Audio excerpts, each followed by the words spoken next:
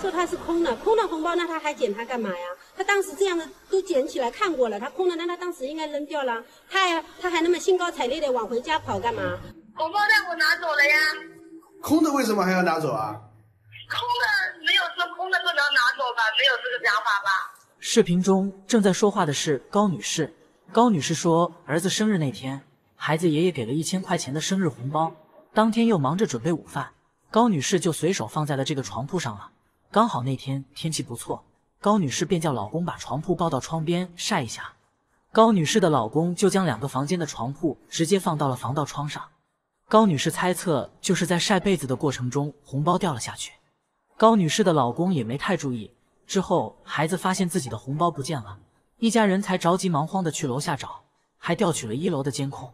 过去了啊，你看，然后又到那边看到一个红包呢，他用脚用脚踢了一下，踢了一下呢，他看看四处有没有人，然后然后他头低下就捡了，捡下来呢还稍微打还打开来看了一下，嗯，然后他这样看看很高兴的呢，高兴就跑掉了，跑回去了。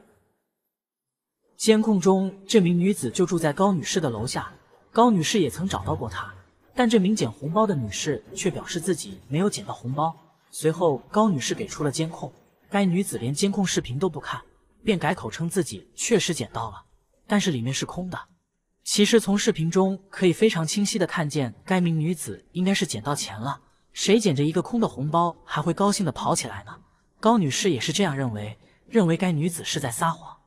随后，记者陪同高女士来到了派出所，工作人员帮忙联系到了这名捡红包的女士。你这个当时红包是不是捡了？已经？那我我这里面就是空的，就是一个很普通的一个红包袋，没有东西。有没有把红包拿走啊？红包袋我拿走了呀。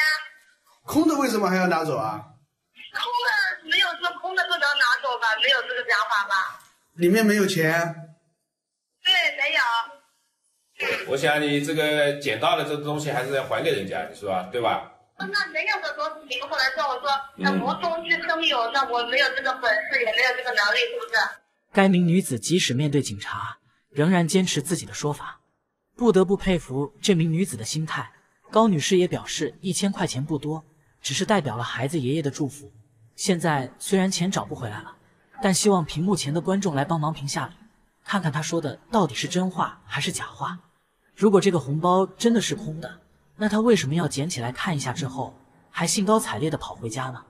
你认为她捡到的真是空红包吗？点个赞，我们评论区讨论。